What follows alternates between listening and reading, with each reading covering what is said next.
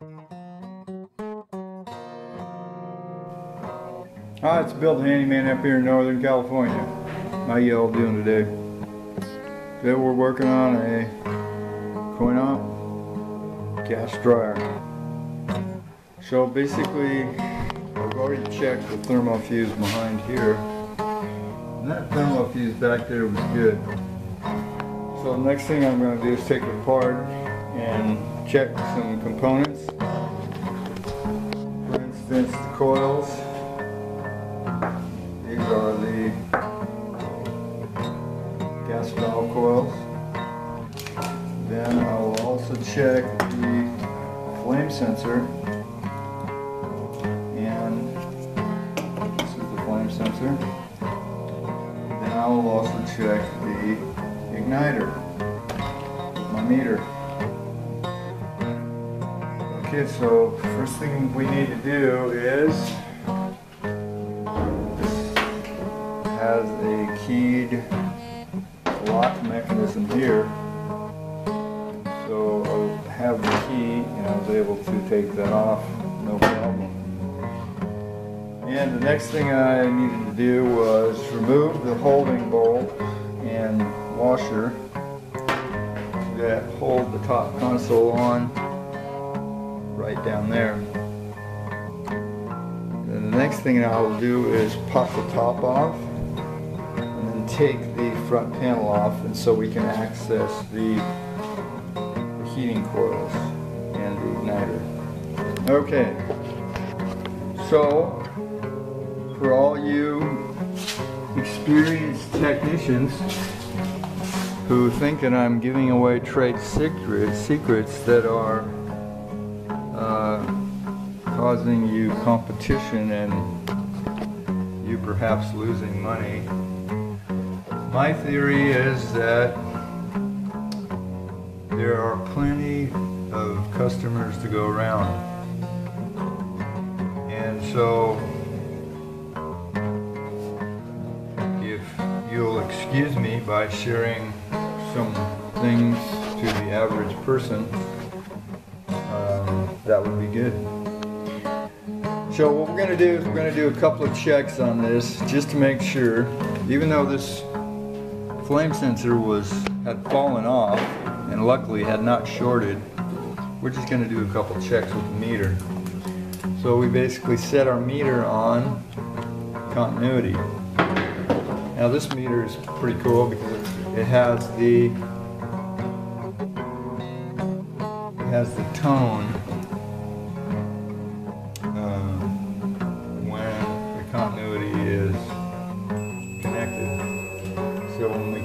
two wires, we have the tone. These come in handy, particularly if you don't, if you're trying to watch two different things. You don't have to watch the meter, you can just listen for it. So first thing we're going to do is we're going to check the check for continuity at the flame sensor. Make sure your um, dryer is unplugged and so basically we're looking for continuity between these two wires here. And that would indicate that the flame sensor is good. And we actually do not have continuity. Now I may have a bad connection here, so let me grab a better part of that.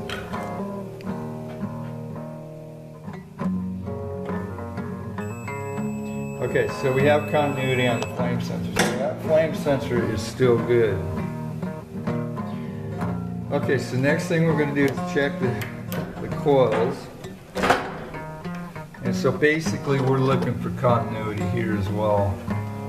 Continuity between these two terminals and continuity in here on these three terminals. So we go across here, may not get a direct uh, tone on this one, so we're going to have to look and see what we have. Now this one here is primarily indicating a bad coil because we don't have any reading on the meter. Okay, yes, we do have a reading on the meter. It's going to be what, 1200.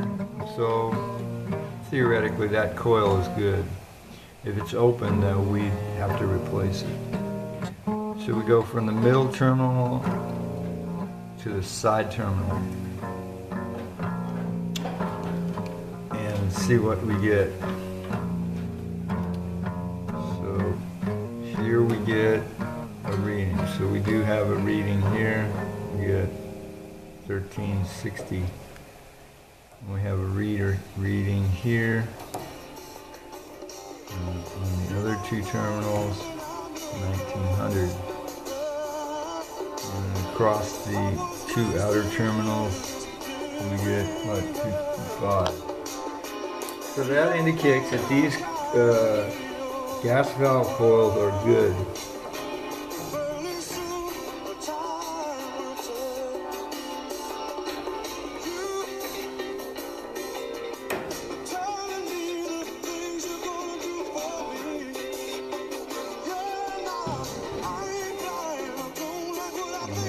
We have the igniter wheel will check.